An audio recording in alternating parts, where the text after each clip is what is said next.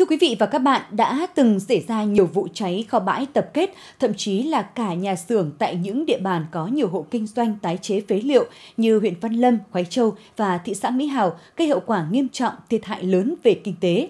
Dù vậy nhưng xem ra công tác phòng ngừa cháy nổ của các hộ kinh doanh vẫn chưa thực sự được coi trọng. Phản ánh tại khu làng nghề Minh Khai, thị trấn Du Quỳnh, huyện Văn Lâm.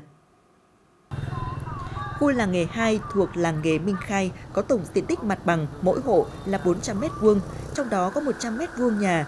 Các hộ sản xuất rất đa dạng, có hộ sản xuất túi ni lông, hàng nguyên sinh không tái chế.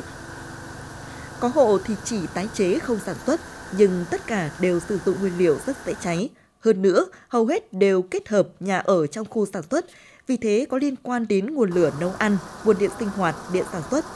Dù vậy, hộ được coi là trang bị hệ thống phòng cháy chữa cháy tốt nhất cũng chỉ có vài bình xịt và bể nước cùng hệ thống vòi phun thủ công. Tuy nhiên bên trong khu sản xuất không có hệ thống báo chữa cháy tự động. Thậm chí nhiều hộ còn không quan tâm đến bình chữa cháy mà chỉ trang bị để trang trí. Ở đây là chỉ có vợ chồng con cái đây thôi. Đợt này là hàng hóa là cũng hơi chậm nên là tôi xếp đây là nó hơi gần cái đường điện quá. Còn tại khu 1 là nghề Minh Khai, Phế liệu ni lông dù là vật liệu dễ cháy nhưng vẫn được các hộ để ngổn ngang. Trong khi đó, nguồn lửa ở tất cả các hộ tái chế vẫn luôn rình rập. Đáng nói là có chủ hộ kinh doanh thì chỉ biết mua bình chữa cháy về để đó, còn không có bất cứ chút kiến thức nào về phòng chống cháy nổ.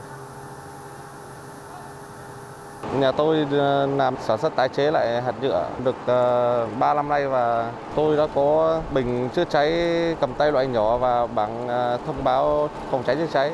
Ngoài ra còn gì không? Ngoài ra thì cũng không còn gì. Không.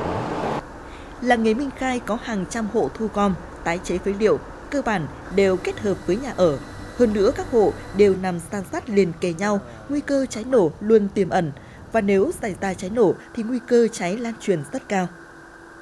Chúng tôi sẽ tiếp tục tăng cường công tác kiểm tra cũng như là hướng dẫn ờ, những cái đơn vị quản lý, tức là đối với cái hệ thống cấp nước chữa cháy của thuộc cái hạ tầng kỹ thuật đối với cụm công nghiệp làng nghề Minh Khai ờ, đối với những cái hộ mà cố tình không thực hiện những cái quy định về phòng cháy chữa cháy thì báo các đồng chí là chúng tôi sẽ kiên quyết xử lý để thu hồi những cái giấy phép kinh doanh hoạt động cũng như là tạm đình chỉ và đình chỉ hoạt động đối với những cơ sở ờ, về vi phạm về phòng cháy chữa cháy.